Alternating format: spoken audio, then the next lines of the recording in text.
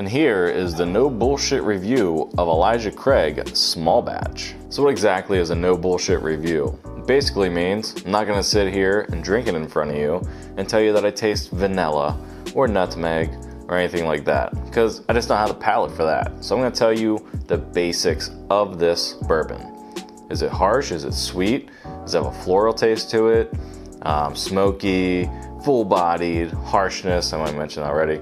Those are the basically the things I'm going to talk about in relation to the bourbon review here with Elijah Craig Small Batch. So, what are you getting when you get Elijah Craig Small Batch? You're getting an amazing value, in my opinion. You can get this for around 25 bucks a bottle and a 750 milliliter, 94 proof. So it's uh, it's under 100 proof, but that's great for people who uh, you know don't want to go crazy, get like rare breed or barrel proof, etc it's a good, you know, entry level. If you're gonna have something in your liquor cabinet, I definitely say, as far as the bourbon goes, you can't go wrong with this one right here.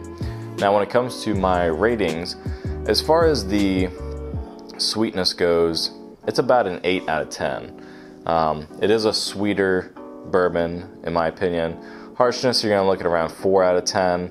Has a little bit of harshness to it if you're comparing it to other ones that are out there, I would put Bourbon Trace, Bourbon Trace, I put Buffalo Trace uh, as very, very mild, not crazy, gonna, you know, kick your butt or anything. Second to that, I put Wild Turkey 101. Then I'd kind of move up to a Knob Creek. Those are kind of interchangeable. And then after that, I'd put the Elijah Craig as far as harshness. Now, what do I mean by harshness? I mean, like, does it have a bite to it? And that makes sense because the Buffalo Trace is uh, a 90 proof. This is 94. The Knob Creek and the Wild Turkey are uh, 101 and uh, 100. So you're gonna find that if it does a little more alcohol, it's gonna be a little more bite. Is there any floralness to this? I do not taste any floralness to this. I do with the Four Roses uh, single barrel, uh, but not with the small batch Elijah Craig. As far as is it full bodied? Yeah, it has a good body to it. It lasts around and kind of plays around on the playground for a while. Uh, is it smoky? Nah, not really.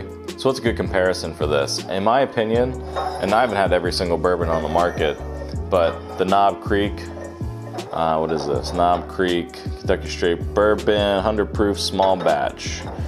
That and Wild Turkey 101 are a relatively good comparison to this. This is a little bit harsher, it has a little bit more complexity than these two, but if you've had these two, then rest assured this is not going to be dramatically different than those. Buffalo Trace is going to be uh, similar as well if you can find that. It's a little bit more difficult to find Buffalo Trace though compared to those other ones I just showed you. As far as value goes, can't go wrong. 25 bucks. This should be a staple in everyone's liquor cabinet if you're into, you know, uh, drinking, having parties, having people over.